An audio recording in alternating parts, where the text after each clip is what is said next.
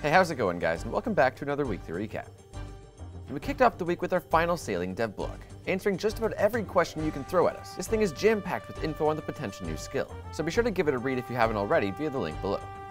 And speaking of sailing, it's officially being polled. That's right, players will have until next Wednesday to get their votes in, so be sure to have your say on whether you'd like to see sailing as a skill in Old School or not.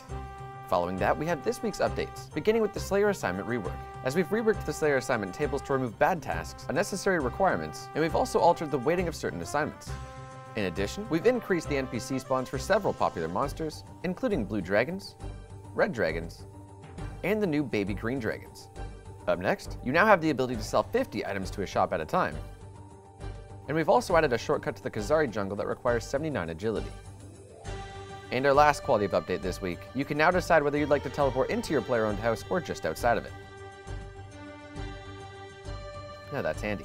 So let's move on to this week's Q&A, which we kicked off announcing a quick fix we made just before the live stream. Yes, so this went into the game about um, 10 minutes ago or thereabouts. It's a change to combat for people who have not been interacting with their clients for a period of time. It's quite simply interrupt the process where you would keep attacking an NPC repeatedly or a player repeatedly. Yeah, so effectively, um, Nightmare Zone, splashing, bye. And we also discussed the max cape, item lending, and of course, sailing.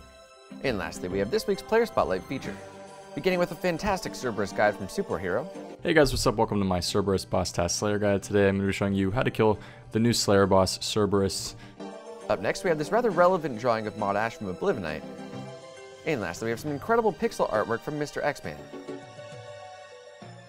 So that about sums up this week in Old School RuneScape.